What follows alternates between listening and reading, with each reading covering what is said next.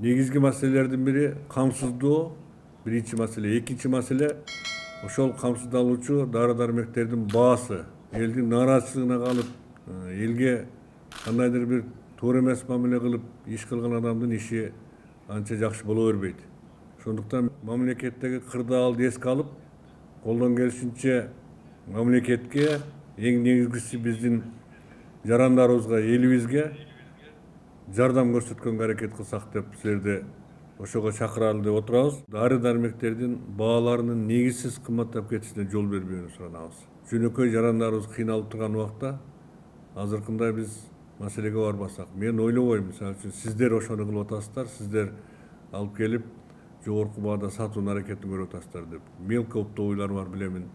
Анан кийин аптекалар самостоятельно ошондой кылып көтөргөндөр болушу мүмкүн. Сырттан ташып келген негизги компаниялар силер болгондон кийин силер мындай жардам берип иштегенге мүмкүнчүлүгүңөр бар.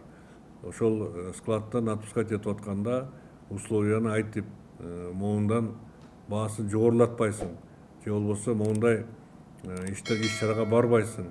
Бүгүнкү күндө кандай баа болсо ошол баа менен сатасың деген условия менен ошолорго баягы товарларды отпускать этип турсаңыздар баа боюнча жабдуу боюнча дары дармектердин таңкыстыгын түзбөй иш аракетти кылып чогулап иштеп берсеңиздер биз сиздерге баардык шарттарды түзүп бергенге аракет кылабыз кээ бир дары дармектердин пошлиналарын алуу боюнча иш чаралар жүргүзүлгөн эгер кандайдыр бир мамлекеттик деңгээлде дагы чечимдер керек болсо элге сиздерге баарыбызга мындай жакшы шарт түзө турган биз дагы ошол убактылуу ошондой шарттарды киргизүүгө карап көрөлү аны дагы ошондуктан эки нерсени мен сиздерден бүгүнкү күнү суранам биринчиси дары дармектин болушунча өлкөгө алып келишин камсыз кылып бүгүнкү күндөгү бизде болгон дары дармектин запасын сыртка башка мамлекеттерге чыгарбоо бул биринчиси экинчиси ошол сатылып жаткан дары дармектердин баасын контролдоп кармап берүү маселеси